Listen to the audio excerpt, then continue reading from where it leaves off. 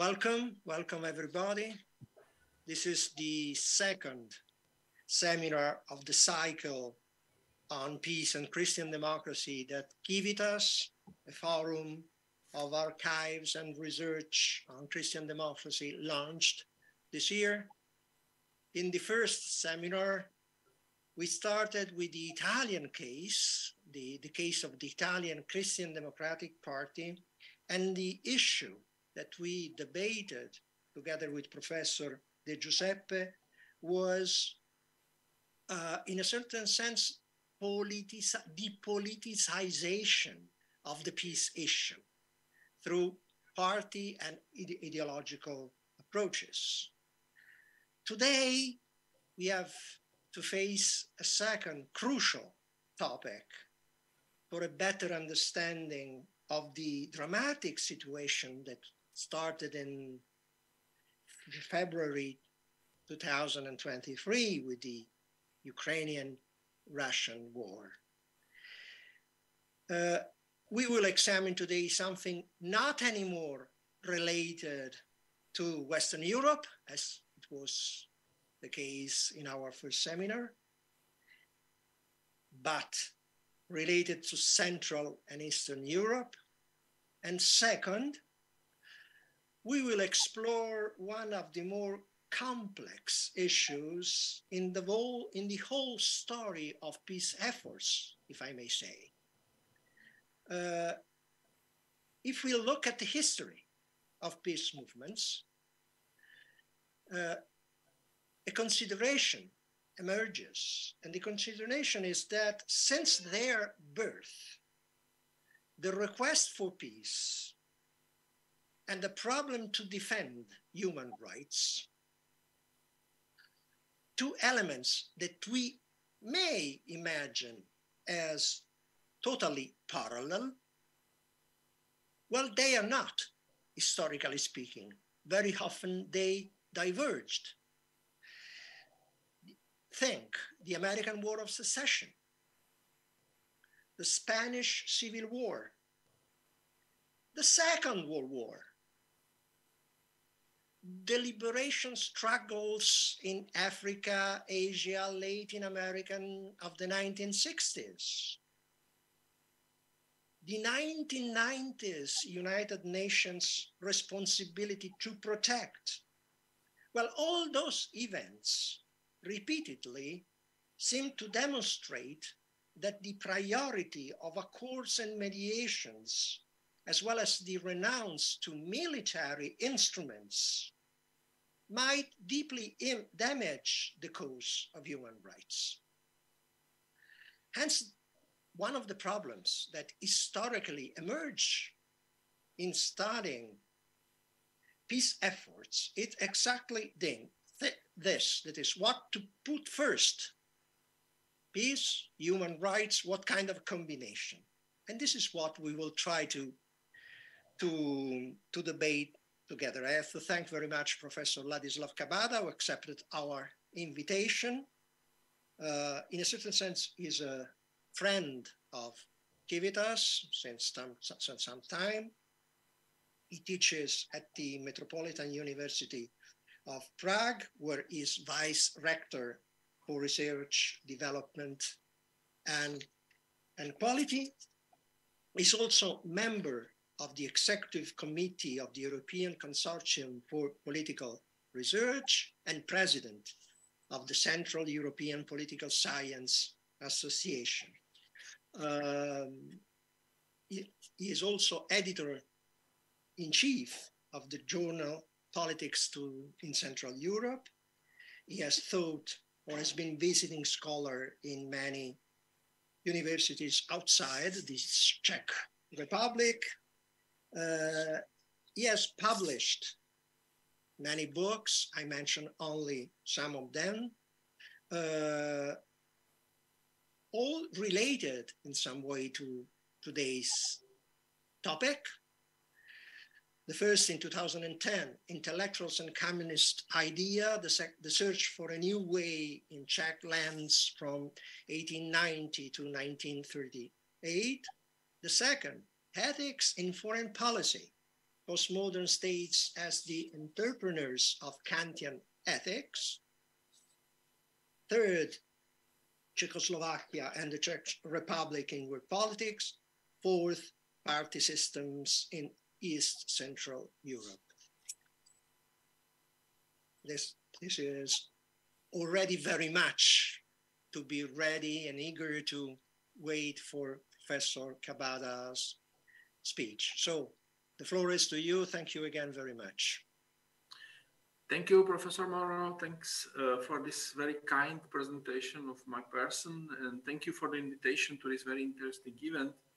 I really like this format of, of, of small webinars where uh, the place is given to discussion. So I will try at the very beginning uh, to present some basic ideas, basic tools, basic basic names. Uh, but uh, I'm really looking forward the the further debate and, and discussion uh, about the topics I'm going to present. I've, I've prepared a short PowerPoint presentation. Usually I, usually I use the terms short, it's, it has 20 slides. Um, so I, I, I, uh, I, will try uh, to uh, uh, share with you. Okay, now it has to work, I hope. Yes. Uh, just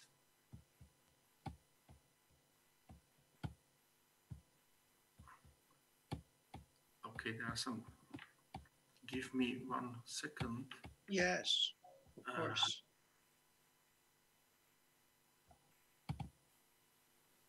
Okay, this has to be.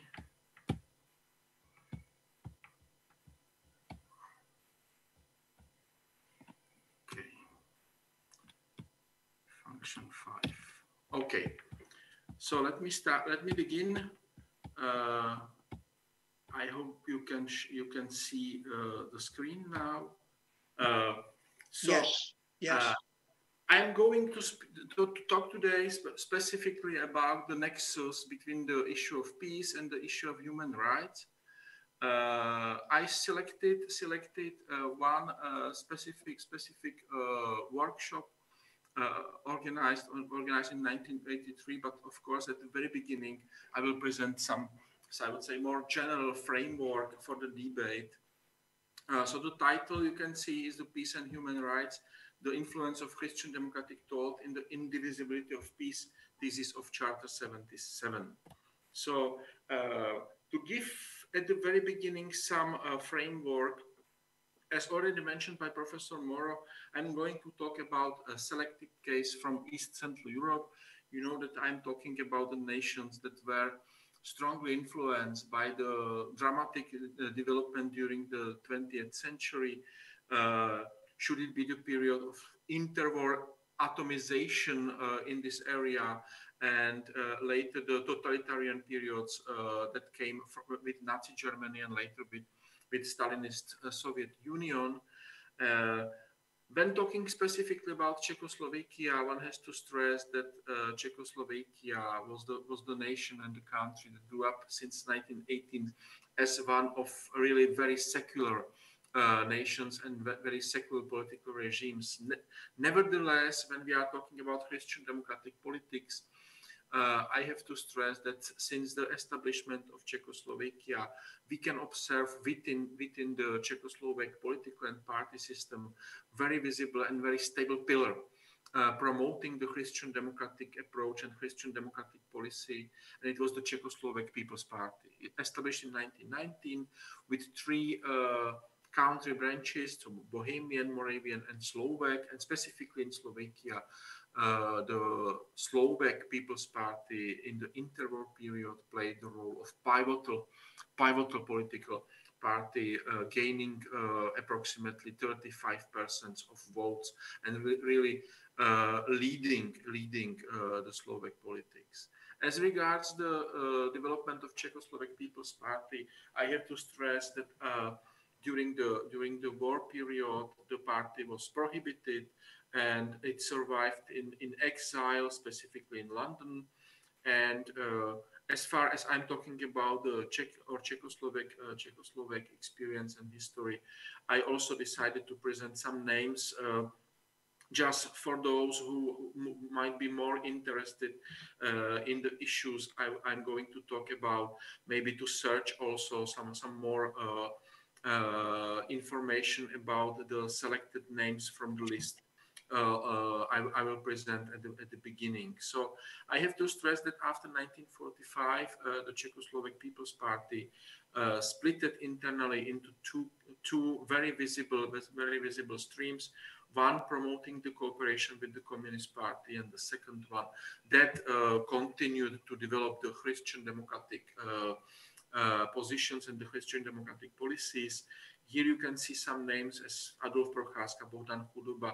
Maybe I should uh, stress specifically Pavel Tigrid, who after 1948 uh, left Czechoslovakia, lived in Paris in exile, and Tigrid established a very known, very known publishing house uh, and the uh, review uh, called Svědectví, which was reflected as one of the of the pillars of Czechoslovak uh, exile uh, exile groups uh, with Christian democratic orientation during the first decade after the communist gain of power in 1948, the Christian democratic politic and the Christian democratic opposition was completely destroyed in Czechoslovakia.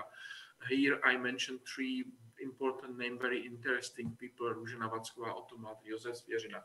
All of them sentenced uh, into political trials uh, between, for between 12 and 15 years of imprisonment. And only in 1960s we could uh, observe some revitalization of Christian democratic politics or Christian democratic groups within, within Czechoslovakia.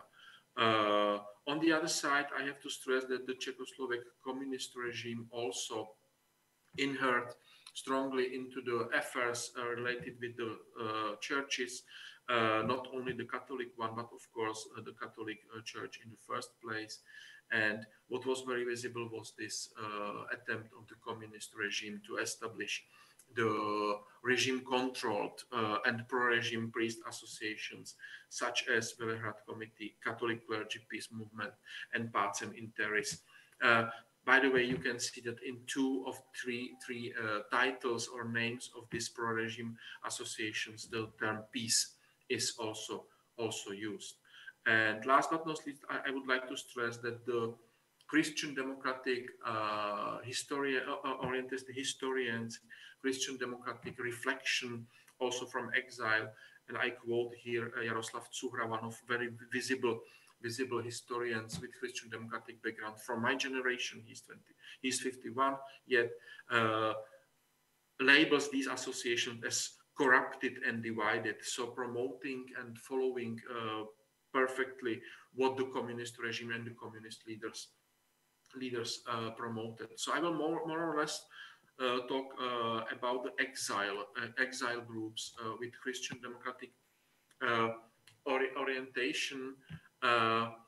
Indeed, before this, I would like to stress the specific development in the second half of 1970s, which led also to the establishment of uh, Charter 77.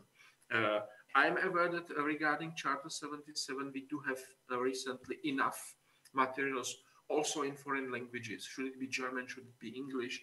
Uh, indeed, uh, for those who didn't have uh, opportunity to study such materials, I would like to stress that uh, after the occupation of Czechoslovakia in 1968, we can observe, I would say, these lost years between 69 and 70, 76, where we almost cannot uh, cannot observe the visible opposition opposition development and opposition activities in in Czechoslovakia.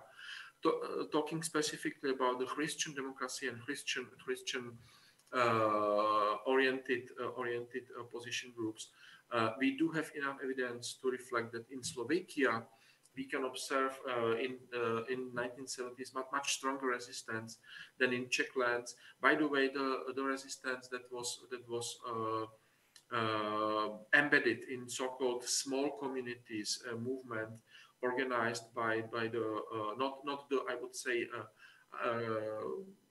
top top placed Catholic clergy, but mostly um, by the so-called common common priest uh, that created the foundation for the underground church. And this is also something that might maybe has to be stressed one sentence that in Czechoslovakia and in several other other countries in, in the in the uh, Soviet bloc since 1960s we can observe this uh, creation of so-called so-called the hidden church.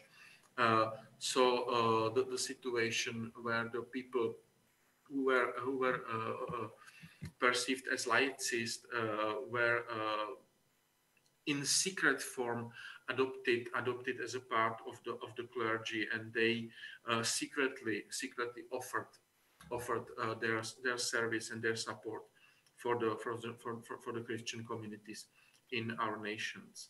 Uh, in 1977 based on the helsinki process uh, the charter 77 was established.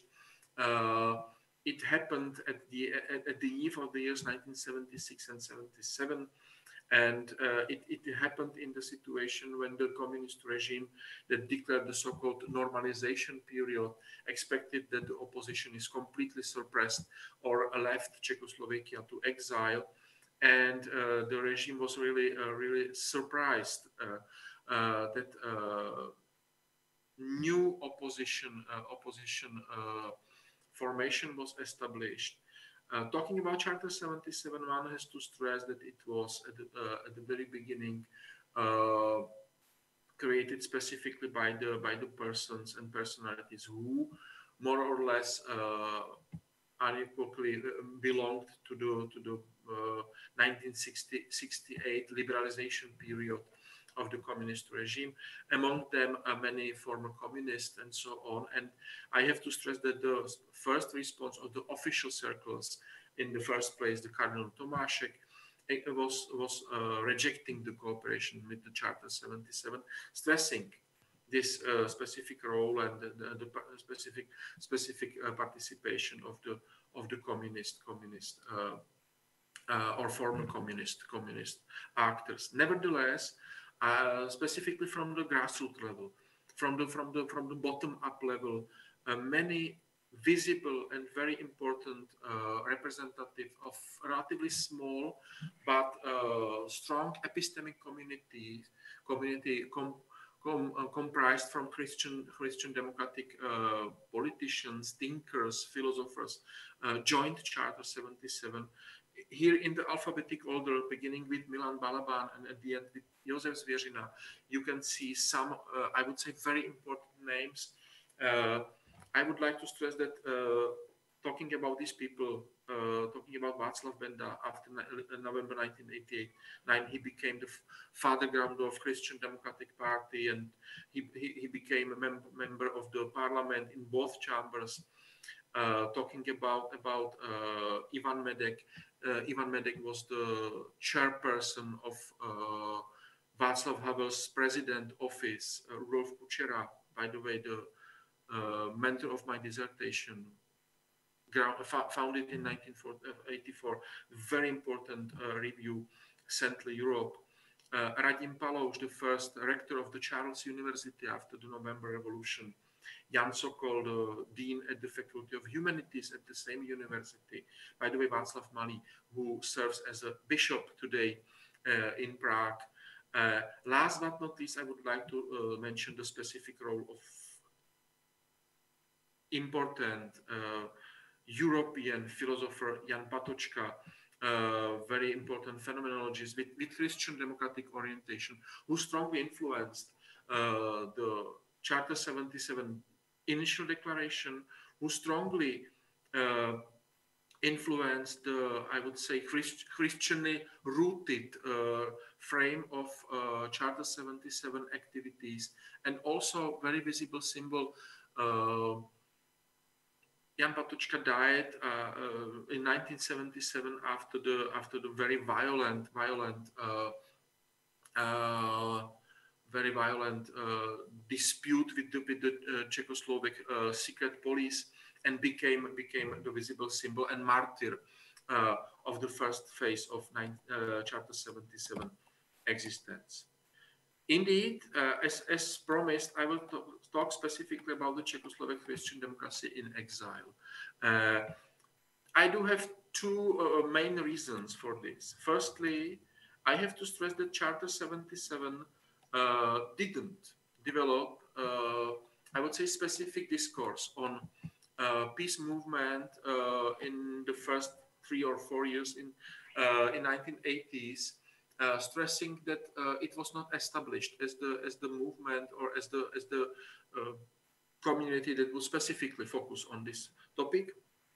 And secondly, uh, in exile, we are able to find, uh, I would say, I would say, a flagship activity with Christian democratic with Christian democratic background, and also the flagship activity that focused strongly on the topic uh, that presents the uh, the main main issue of my uh, today's lecture or presentation, and this is the issue of peace, peace movement, and Christian democratic approach towards peace and, and the activities we can observe in, in West European nations at the beginning of 19, 1980s. Here, uh, for those who are interested in history, for by the way, for those who uh, would like to search in the archives, I would specifically uh, stress the existence of Opus Bonum uh, community. It was the it was or it is still the laical Catholic Association. It was established in 1972 in Frankfurt uh, uh, Main in Germany and in 1979, it was remo removed to Munich. By the way, this was very symbolic because in Munich, uh, there was located also the Radio Free Europe, where uh, several actors, I, would, I will talk about them today, also, also acted as a journalist uh, who uh, uh, broadcasted uh, to the to, to, to communist and occupied Czechoslovakia. recently, after 1989, Opus Bonum was relocated to Prague. It is located in the Benedictine Arch Abbey of St. Adalbert and St. Margaret uh, in Prague, in the in the Prague district, district Břevnov. So for those who would like to uh, search for for uh, sources uh, related with the with, with the Czechoslovak Christian democratic exile and Christian democratic activities, uh, I recommend recommend to, to, to establish a contact with this Benedictine Archabbey and with Opus Bonum uh, that, that is hosted uh, recently there. And I would like to stress some personalities again uh, related with Opus Bonum. By the way, Anastas Opasek after, Opasek after 1989, he was he was the leading person within the uh, above mentioned Benedictine Archabbey. Uh, Ivan Medek, I already spoke about uh, about him. Milan Schulz, who will be mentioned repeatedly uh, in my lecture. And last but not least, also already discussed Pavel Tigrid. After 1989, he returned to Czechoslovakia. He was a member of the government as a minister of culture, strongly uh, uh, promoting the Christian democratic values within the right right wing uh, government in 19, 1997 and 1990 eight. Uh, and uh, coming to the topic, uh, I, I, I, would like to stress that Opus Bonum was or has been since 1978 organizing the annual meetings. We call them so-called academic weeks. Uh, firstly in Hünfeld by Fulda, uh, uh, and later since 1978 in North Bavaria and Franken. And uh, next to Christian democratic speakers, they uh, also usually uh, invited other ideological streams. So if you if, if, if you go through the through the uh, documents uh, that reflect these meetings, uh, we do have several editions of of these meetings. We can also observe the mutual exchange of opinions, uh, the discussion, uh, the arguments uh, that, that, were given at one side by Christian democratic uh, members of Czechoslovak leaders uh, exile, and on the other side by the other, uh, should it be post-communist, should it be, by the way, environmental or liberal environmental groups, and so on. And uh, I will focus today on the Franken Symposium organized uh, at the end of November 1983 with the title Peace, Peace Movements and Christian Democratic Ethics or Christian Ethics. Uh, the editor of the book was already mentioned, Milan Schulz. He prepared the edition that includes not only all the contributions, but also the discussions, which uh, in many ways are uh, even more interesting. Uh, I was not able to find the book uh, in other language than in Czech, so I, am not aware if it would be useful for you, but I saw the list of, of, of participants and I saw some names that seem to me maybe Croat. Uh, and I would say that uh, se uh, several colleagues that, that uh, might participate on this on this webinar uh, might be interested at least in some in some parts. Uh, firstly, the book is available online, so you can see not only the bibliographical in, information, but also also the web, web page and uh, I already already downloaded the book as an ebook. So uh, for those who are interested, at the end of my presentation, I will again present also my email address. Uh, if you do not hesitate to write to me, I, I, will send you the book, the complete book, uh, if you are interested in this book. And uh, uh,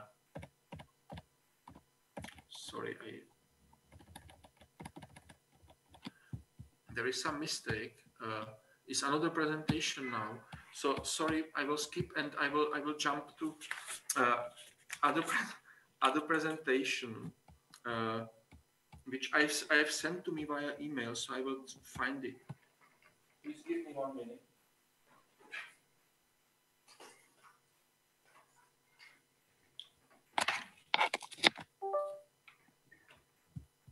This is the problem with too many too many. Uh, PowerPoint presentations.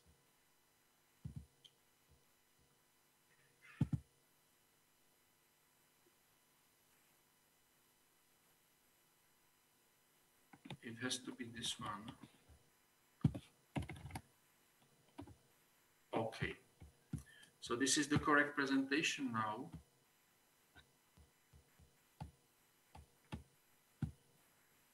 Okay. So I will continue.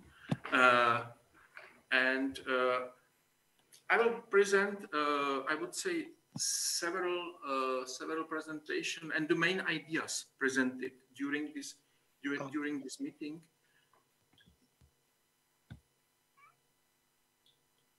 Can you see the presentation? Yes, we, we saw this. Yes, we, we, we okay. can see it. Okay. Perfectly.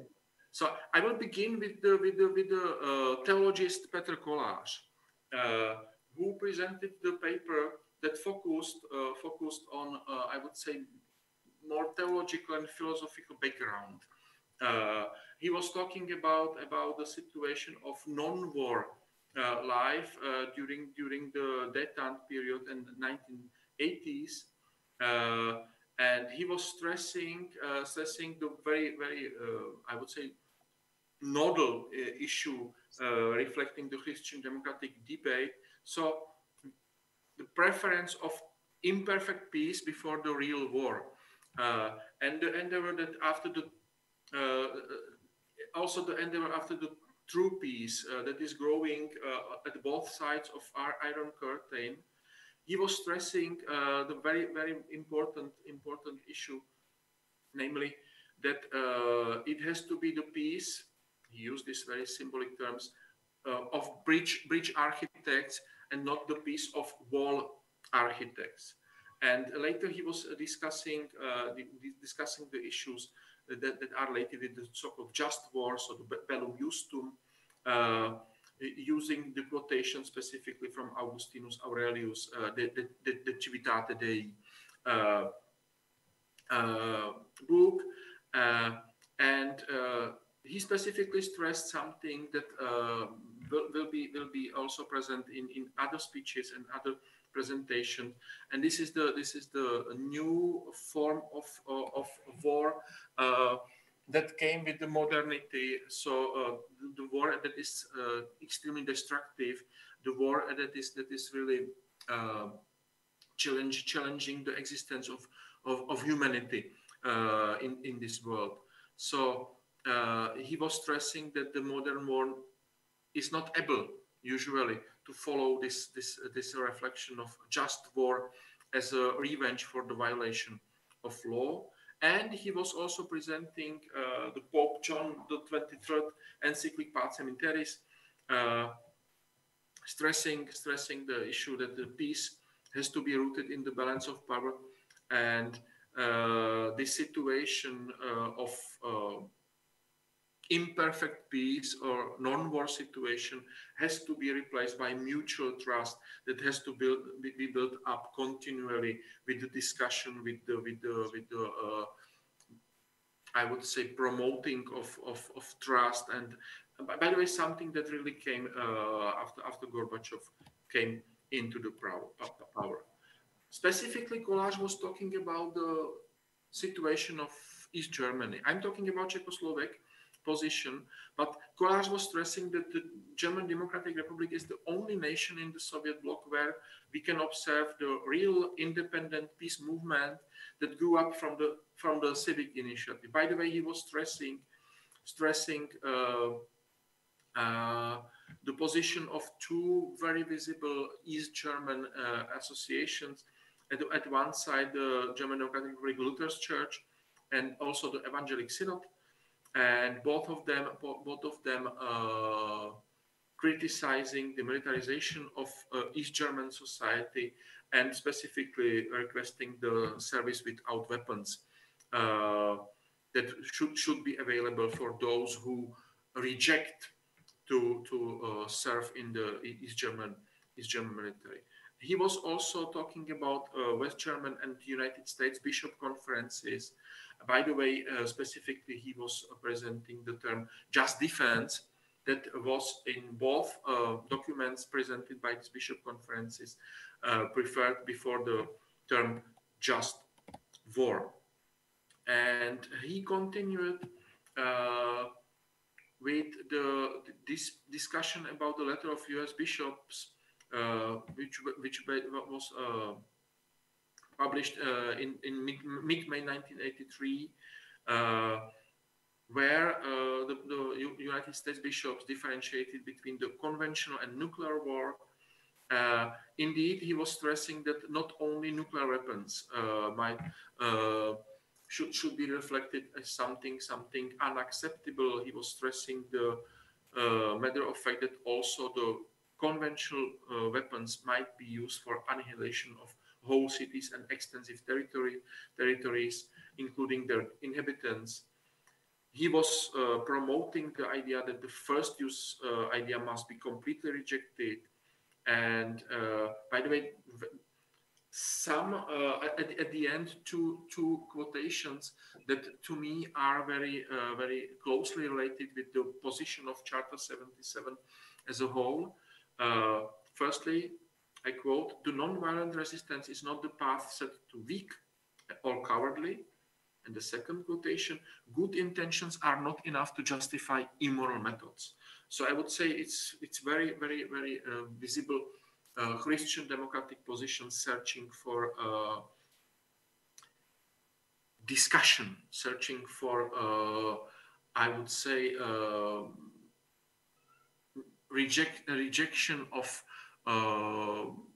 any type of uh, military, militarism, any type of strengthening, strengthening the conflict between between uh, the blocks and uh, promoting promoting uh, the brotherhood idea that has to overcome the Iron Curtain. More critical was Wilhelm Hale, another speaker. I use this quotation, Pacifism or Realism, which was the title of his paper. And uh, he specifically focuses on this uh, uh, constructed reality of binary opposition. Uh, at one side, there should be there should be the people that uh, promote war, and on the other side, uh, there should be the people that promote peace. And uh, the third way does not uh, exist, or there, there is no place for this third way. He used the term tertium non datur. and he also used this term so-called peace movement. uh, which means that he was uh, rather critical regarding the West uh, West uh, European, specifically German, by the way, uh, peace movement,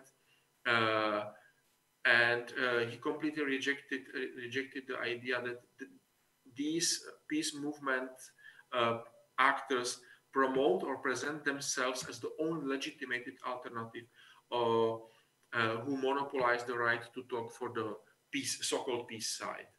Uh, he was also stressing uh, stressing the, the necessity to reflect uh, to reflect the nature of Soviet Union, to reflect the Soviet legacy, uh, and to set, settle the term peace policy into the broader context of Soviet history, Soviet camp history, and also into the into the context of uh, Soviet uh, Soviet real goals.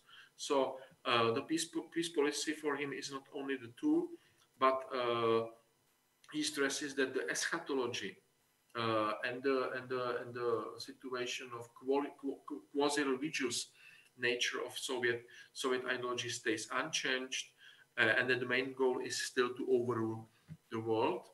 Uh, he mentions that for, for the USSR, the detente is above all the new form of class struggle. And uh, I like this sentence at the end. The Soviets do not intend to lead the global world, but to seize control over, over the world. Uh, and uh, for him, the peace movements uh, specifically the German peace movement, uh, might be reflected also as a tool uh, that has to isolate the Western Europe from the United States and vice versa. And he reflects it as a, as a, as a primary, primary uh, Soviet goal. Uh, so he stresses that for him, the Western peace movement wants to forget about everything uh, that what we know about the Soviet policies. Uh, by the way, he was questioning also the uh, assumed financial support uh, from the Soviet bloc for the Western peace movement or some of these Western peace movements.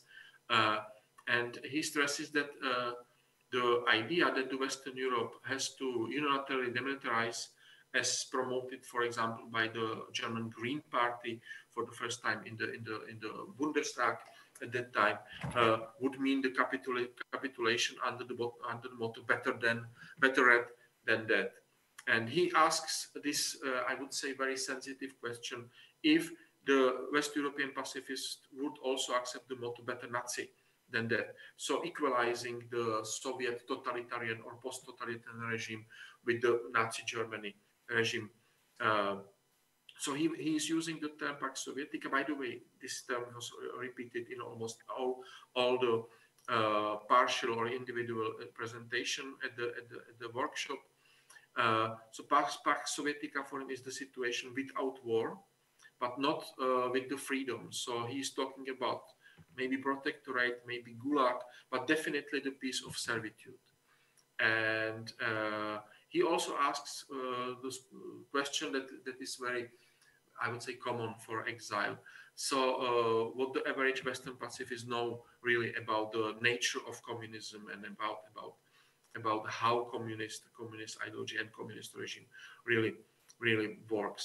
Last but not least, he stresses something that uh, was very visible, and it was, was anti-Americanism uh, of some or several West, Western peace movement. Uh, in the similar manner, also Petra Rakušanová was talking. By the way, Petra Rakušanová is still active journalist uh, she used she used this term ceasefire is not a peace so he was talk, he was talking uh, or she was talking about 40 years of peace that are illusion here the quotation the, the ceasefire between the west and east is redeemed by millions of victims in so-called local wars and the brutally enforced cemetery motionlessness in the eastern europe. So she stresses uh, specifically that peace is the term that might uh, might work in very different or might be placed in very different collocation, uh, very different uh, syn syntax, in very different uh, semantics, and uh, she stresses that for the people peace does not present only the ceasefire, but above all the respect to their dignity. I mean, this is very typical for Charter 77, stressing this dignity uh, issue. And uh, he, she is stressing that uh, for her, Soviet Union is the blackmailer that dictates the rules, uh, and the Western is uh, the West is losing in her position the proactive or active role. It only it only reacts. Uh, and she is the first of the speakers that stresses uh, the issue of in, uh, peace and human rights nexus with this notion on indivisible form, uh, uh, which uh, which collocates peace or interconnects peace and human rights issue. Jaroslav Langer, philosopher, very interesting paper uh, for those who are able to, to, to, to, to read Czech, I would say this is the really the Platonic omphalos of the meeting. So the, I was a per perfectly argumented presentation. Uh, he uh, firstly falsific falsificates the assumption that demilitarization as one of the tools promoted by some Western peace movements really produces peace. Uh, in his opinion, it is a mistaken assumption. Uh, he stresses that uh, peace itself, uh, or, or, the peace that would be produced by this demilitarization, uh, would be the situation without war. Uh, that is nothing more than the period of break between the wars. So I would say he promotes the something we, we, can call Kantian Kantian position. So he is thinking about how to uh, change the situation towards the future eternal peace in the Kantian in the Kantian manner. And uh, in that way, he stresses that any real and lasting step towards demilitarization has to grow up from the turns towards political peace. So he's stressing that it is not about demilitarization only, but specifically about the open talks uh, between and among the politicians from both sides of the Iron Curtain. And uh, he also stresses again that the peace is the situation of securing the human rights. And uh, for me, it is one of the very, very visible, very visible uh, uh, speakers who promote something that we know from 1990s as the so-called humanitarian interventionism. So I quote, Applied on the human rights issue, the principle of non-interference adopted by the United Nations present, presents the global crime against the humanity. Uh, it's very, I would say, very hard, uh, hard, hard uh, declaration, stressing that the uh, global affairs uh, should follow follow the issue uh, should should follow the basic idea that every human being in this world has to be has to be protected uh, uh, has has to has to uh, positively positively uh, use the freedom from war freedom from fear uh, and has to be and its uh, human rights has to be secured. So he, he rejects this i would say I, idea of brezhnev doctrine of limited sovereignty of of uh, nations uh, living under the under the Soviet Soviet, Soviet umbrella. Uh, specifically, I would like to speak about Charter 77. I gave the, the, the name of this of this I would say uh, flagship uh, civic activity against the communist regime into the title of my presentation. So, and Vilém Prečan, the historian, by the way, is still active, being 90 now, uh, who lived in the Bavarian exile uh, and who uh, prepared lot, several editions of, of uh, exile documents uh, reflecting the Czechoslovak anti-communist movements and anti-communist uh, political actors. Prečan was discussing the Charter 77 and its position regarding the regarding the peace uh, and peace movements. Uh, at the very beginning, I already already mentioned that he stresses that Charter 77 was not established as the primary peace movement. Uh, it grew up from, from Helsinki process and uh, the related international documents, I quote, against wars, violence, and social and spiritual oppression.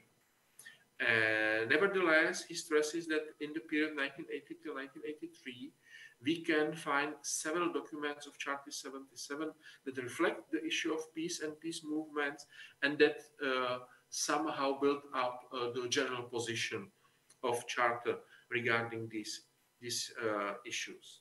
And uh, again, uh, what, what is uh, very visible is this focus on nexus. So peace and human rights present the nexus that uh, they, they cannot be uh, divided and they, they cannot be discussed separately. I quote, the right for life and freedom from fear, from war, belong to the Codex of Basic Human Rights. Uh, uh and uh, here it is stressed that the Charter 77 promotes peace, it reflects peace as a very important uh, cardinal topic, but it doesn't give any precedence to the right for life before other rights and freedoms. So, in, in Charter's perspective, I quote, there exist the values for which the life might be sacrificed. So, this is the concept of just, just war in more, more, more or less. Uh, and what Charter 77 promotes is not only peace, but the peace with something that we might call predicates, so the humanly dignified peace life. Uh, Charter 77 stresses that the right for life must not be understood as the right for whichever life, but, I quote, the life where the basic values of humanly dignified existence are respected. Uh, so, Charter 77 rejects any peace that would be, I quote, the peace of concentration camps, uh, and specifically, it is stressed the experience of Czech, historical experience of Czechos uh, Czechoslovakia, but also Europe uh, from 1930s. Uh, I quote: uh, "Czechoslovakia catastrophically suffered the effort for peace for any prices." So this is the criticism of what we know as appeasement policy promoted specifically by the French and British governments eh, in the second half of 1930s. So uh, Edouard Daladier in, in, in, France as a prime minister and, and Neville Chamberlain in the United Kingdom as a, as a prime minister. Uh, and the Charter 77 stresses that we know that the world peace is by far not unambiguous. Uh, so the main thesis uh, that uh, goes as a red line through the different materials of uh, Charter 77. Mostly these materials were uh, prepared by one of three speakers. Uh, the Charter 77 was uh, represented by three speakers that changed uh, every, every year. Uh, by the way, three speakers because quite often one or even two speakers were imprisoned. so to, to ensure the continuity of work within the Charter. And the, the main thesis is the indivisibility of peace. So it has, I quote, inseparability of the effort for peace from the effort for respect toward or towards human rights. Uh, so uh, Charter 77 uh, was stressing uh, the matter of fact that the peace has to be reflected also as a protection before uh, the internal despotism. So it is not, uh, not only the discussion about the peace among the nations, uh, or states, but also the discussion or the, the, the, focus on how to put an end to violence and injustice inside of states. Uh, so the role of any peacemaker has to be to ensure the respect to human and citizen rights in every single country. It has the human freedom and dignity regarding the conviction, faith, assembly, speech, etc. By the way, if I jump seven years uh, forward, in May 1990, exactly these uh, these uh, words and sentences will be used by Václav Havel, the newly elected democratic president of uh, newly democratic Czechoslovakia, in the Parliamentary Assembly of the Council Council of Europe, and the human rights protection and human rights based uh, foreign policy became one of the I would say, I would say, role model statute uh, within the Czechoslovak and later Czech foreign policy. So the Charter 77 and also the Christian democratic thinkers within the Charter 77 or in the Czechoslovak exile stress the mutual nexus between the external and internal peace and the individuality of uh, external and internal sovereignty that is related with this uh, with this peace situation. Uh, as they stress, the peace is impossible without freedom. I quote, any attempt to save peace at the expense of freedom will after all not save neither peace nor freedom. So I would say this is the this is something that uh, that is a legacy and this uh, uh, uh, I would say lessons learned from appeasement period in 1930s. Last but not least, I quote, it is difficult to believe in frankness of peace effort in the reality where the people asking respect for human rights are persecuted. So uh, Charter 77 stresses it is very difficult to accept uh, that uh, at one side the regimes such as Czechoslovak, East German, or Polish are promoting peace and positively present uh, the Western peace movement, and on the other side, those who uh, promote human rights or even those who promote peace. So, for example, Czechoslovak dissidents who, at, at the small uh, size demonstration, promote the demilitarization of Czechoslovakia are usually persecuted, imprisoned, imprisoned and uh, uh, excluded from the from the uh, public life. Coming to the end, the first issue, I would like to stress that what we see in the Charter 77 and also the Christian democratically rooted pillar within the Charter 77 position uh, towards the peace issue and the peace movement is the global mission. So repeatedly we can observe this uh, uh, focus on all human beings. It's not about blocks. It, it is not about the West and East, but it's about every single person in this world, which is in my in my deepest deep, deep, deep belief the very very very uh, crucial Christian democratic position. Uh, it's a global mission, so we should think about the global peace we should reflect not, by the way, not only the military uh, military dangers, but also the uh, new challenges uh, for the for the human dignity, for the development uh, uh, in all regions of this world. So even in the in the documents uh, analyzed in, since the period 1980 to 93, we can observe find the ecological frame. We can find the no, notion on growing social unevenness between the global north and south. By the way, these terms are used in this in these documents. And last but not least, uh, I would like to stress this very, I would say, very deep, very uh, em clearly embedded meta narrative, a very philosophical meta narrative of postmodern identity crisis.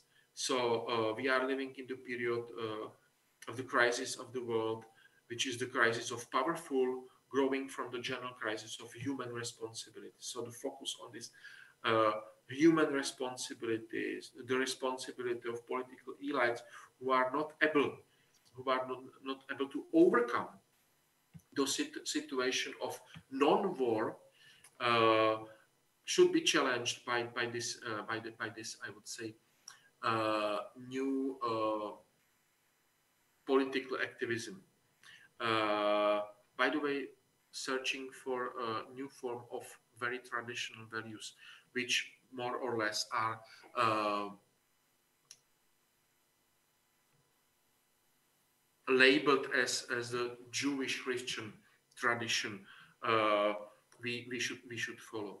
Uh, last but not least, uh, I would say this is, this is something that is very, very, very uh, crucial uh, when I'm talking about this focus on every human being in this world. I quote, the biggest danger for the outbreak of war presents the disrespect towards the dignity and freedom of the, of the others. Uh, the treating the other not as the fellow man. So the call or the commemoration that all people are brothers uh, and uh, that we should really respect every single person in this world in this in the same manner uh, which uh, which uh, grows really from from this very ethical uh, ethical background given by Patočka, given by Havel, given by by many other Christian democratic democratic thinker within the Charter Charter 77. To come to, to the conclusion, I have to stress at the end that, and it was clear uh, from my presentation that the Charter 77 was not and is not the purely Christian democratic actor. Uh, so usually we are talking about three uh, visible pillars. The Christian democratic, by the way, very ecumenic in the Czech, in the in the Czechoslovak situation. Uh, then the uh, pillar of, I would say, intellectuals, uh, which usually might be labeled as liberal, uh, and then uh, the pillar of former communists. But these three pillars uh, more or less followed the legacy or the heritage given by Patočka and the legacy with which really grew up from, from purely Christian democratic Christian democratic orientation. So the principles that are implemented or were implemented by both the clergy and the laicist members within the Charter 77 and like-minded associations, uh, I would say present very important frame and values. Uh, and uh, generally, I would say at the end that the Western peace movements were mostly reflected through the very critical lenses. By the way, the pillar or the stream within the Charter 77 who was I would say more positive about the Western peace movement was the post-communist pillar. So the people like Zdeněk Mlynář, for example, uh, or uh, talking about the Italian experience, Jiří Pelikán, the former former director of the Czechoslovak Czechoslovak TV, who after the uh, Soviet occupation of Czechos Czechoslovakia left uh, left to Italy uh, and uh, lived in the, in, in, in the exile in Italy. So the uh, Christian democratic uh, and conservative uh, streams within the Charter 77 were much more critical. Uh, they usually, usually uh, stress that we should not think the recent situation at the beginning of 1980s without reflecting the long-term development of Soviet Soviet uh, strategies, Soviet legacies, and they rejected any attempt to exchange peace uh, for the freedom and for dignity, uh, repeatedly stressing the very negative experience of appeasement politics uh, promoted in the 1930s uh, regarding Czechoslovakia, uh, but also other nations in East Central Europe. So this would be uh, as a kickoff presentation from my side, and I look forward all your questions, all your comments, and the discussion. Thank you. Thank you very much. Professor Cabada for this fascinating, brilliant uh, contribution. Uh, all the expectations have been met. We are at the core of one of the great problems facing every peace effort. And I think that this uh, Eastern European perspective point of view, if you want, is a great addition to the uh, understanding and acknowledgement of the problems of war and peace. Uh, of course, in this Eastern perspective, according to me, there is a reaction, an obvious, a natural reaction to the peace rhetorics and propaganda coming from the Eastern Bloc, of course, but I think there is also a sharp distinction uh, from the uh, approach of the Western pacifist uh, movements.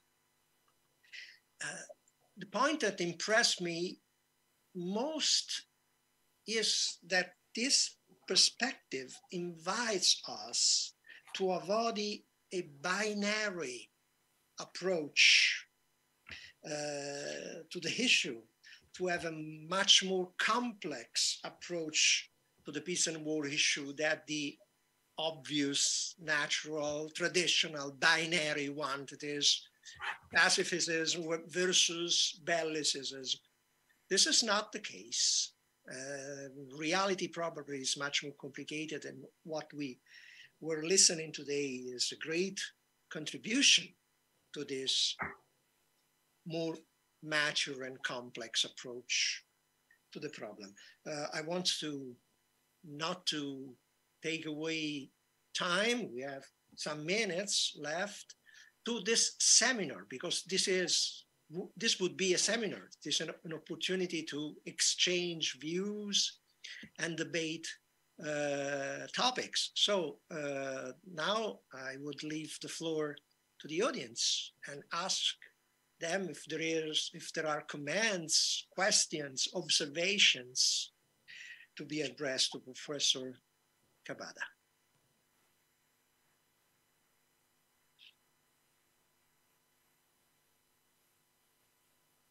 Don't know if you are so able, so capable to raise hands and pre-note for a question.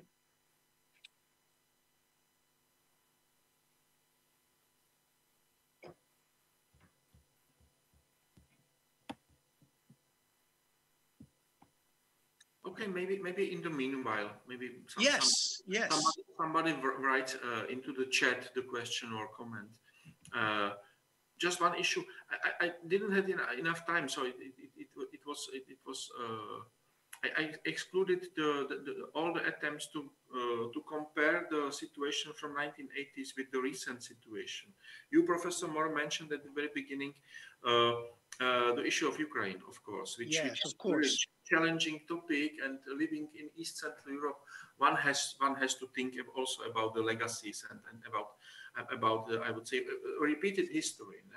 Uh, so I would say what was very important uh, if, when I go through the docu documents and uh, materials, I, I, I, was I went also through the book of Václav Havel's speeches from 70s and 80s called "For the Human Identity," and there was a I, I would say basic idea.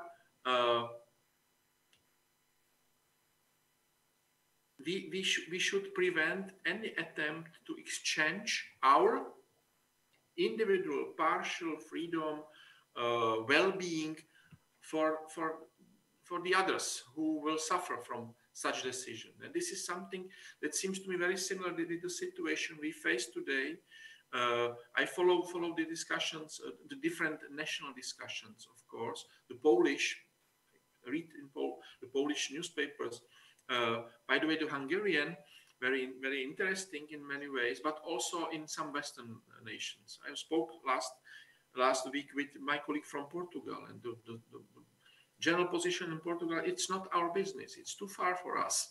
Uh, so it, it, uh, when we are talking about, I would say, some shared shared values, when we are talking about some European European heritage and so on.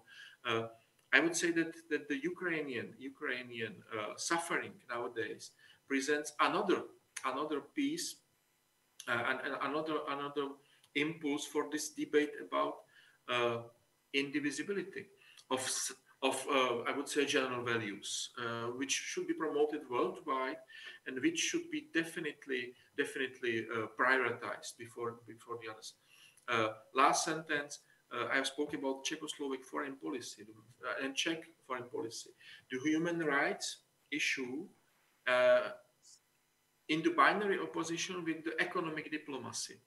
Uh, and how to how to find some I would say equilibrium balance uh, between these general values at one side and this what might be called the economic or homo economicus interest.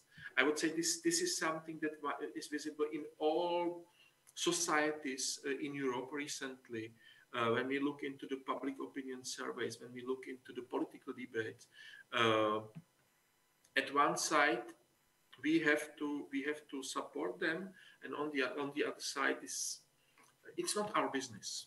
Uh, and why, why should we matter for that?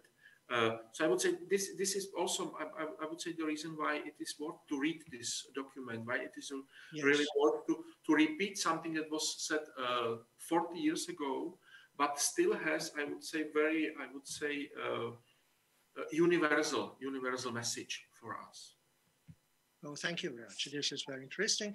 It is exactly the approach we had. That is, of course, we are not debating the Ukrainian Russian case uh, it's not our intention, but we would like to come back to reflect to the heritage, to the heritage uh, that Christian democratic thinking has left in decades of reflections and contribution to try to see if there is something in it that may help us to understand in a better way today's situation.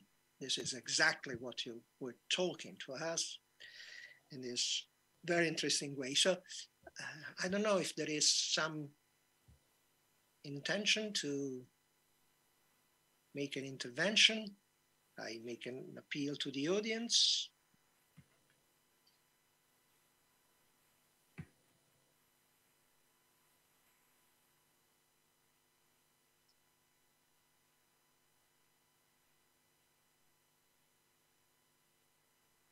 Seems not. Probably this means that everybody was totally convinced by the analysis you made. Uh, uh, what I know, I have a question, a curiosity to this. What I know about the relation between Charter 77 and Western peace movements uh, is that at the beginning, there was a sort of un- understanding uh, why you put peace as a priority, unique priority. Our problem is not peace as a priority. Our problem is human, our human rights. Uh, but if I remember correctly, in a second phase, these difficulties were overcome. There was even, if I remember correctly, an international meeting of the European uh, nuclear uh, campaign in Czechoslovakia yes, I would I would like to know something more if you if you if you have something to, to tell about this. Yeah. Uh, first, firstly, uh, this misunderstanding, I would say, uh, it's also visible when when you go through the documents. Uh, uh the Western peace movement was uh, specifically by the Opus Bonum as the Christian democratic community, mm-hmm. more or less equalized with the German Green Party. And the German Green Party was really very radical at that time. Yes. Uh, they were really yes. Total uh, demilitarization. And they came with the, with the it was also the slogan, uh, better better red, uh, red than dead. And the second slogan was to, to abandon NATO. So the West Germany has to leave NATO. Exactly. I would, I, I would say this was this was the uh, I would say point, point of no return for the discussion. Uh, and by the way, this this is the issue which was stressed by Václav Bělohradský, the Czech Italian philosopher. And uh, but I would say that uh, with with the with the with, with, with the uh, I would say new generation of green politicians, uh, and also with with I would say real behavior of German German social democrats, uh, which were also perceived as I would say prone towards demilitarization. Uh, there were built up new bridges between between uh, or among these these different different positions. As regards regards the, the, event you mentioned, yes, it was organized in Prague in 1983. Uh, at one side, it was it was positively reflected that the people could meet and discuss the issue. Uh, on the other side, spe specifically Havel, Havel was writing then a letter letter to the to the to the part, uh, partners from this from this Franken meeting, and Havel was stressing it, that it is it is really shameful that several members of the Charter 77 was imprisoned uh, during this event. Uh, because they were trying to, to, to, to, come and talk about peace and it was forbidden to them. Uh, so I would say also yes. within, within Charter 77, we can we can observe this. I would say strengthening of fundamental positions of small small small part. By the way, paradoxically, exactly the people that would be uh, more or less uh, related with the Charter, uh, Christian democratic position. Uh, so I mentioned Václav Benda he became one of the most important promoters of uh, Augusto Pinochet, for example. Uh, and he even invited him to Czechoslovakia at the very beginning of 1990s as the most important fighter against communism. So I would say it sharpened the position of, of I would say, fundamentalists. I see. I see. Very, very interesting. I see a raised hand, Professor Giovanni Mario Cecchi. The floor is for him.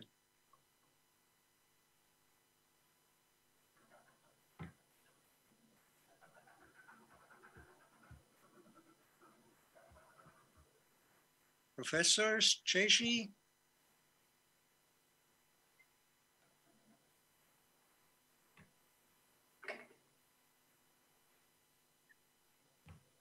We cannot see you or hear you.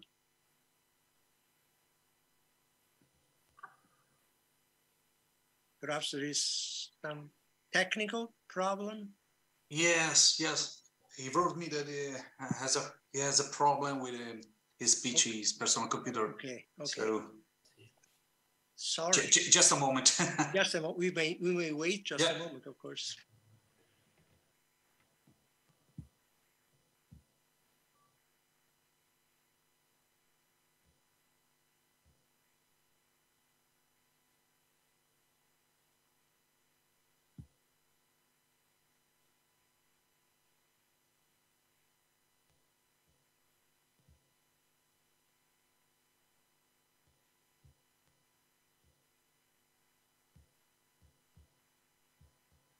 Nothing?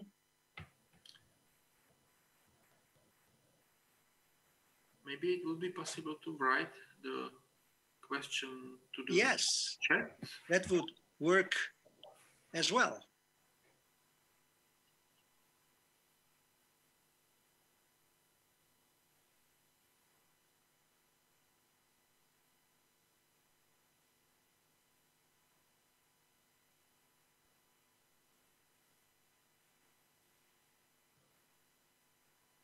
He is trying to solve the problem. Uh, I wrote him to, to, to, to write in chat. No, it's not possible. I'm sorry. He has a problem also for chatting. Uh-huh. Okay, maybe he's trying to, to, to close the connection and then uh, start again. So please, I'm sorry. Yes, so it is not possible. Okay. Okay, if there are no other interventions, seems not. I'm sorry for Professor Cecchi, but I don't know what kind of technical problems he had. Uh, we thank Professor Cabada again for his contribution today. So interesting, so exciting, so uh, thought-provoking. Uh, and I simply remember to you that we will have a third uh, meeting of the cycle on June the 26th. This will be devoted to a third crucial aspect, the relation between peace and security with a focus on the German Christian democratic case. So thank you, everybody. We I hope we will meet again. Thank you again. Thank you, Professor Cabada. Thank you again for the invitation and have a nice day.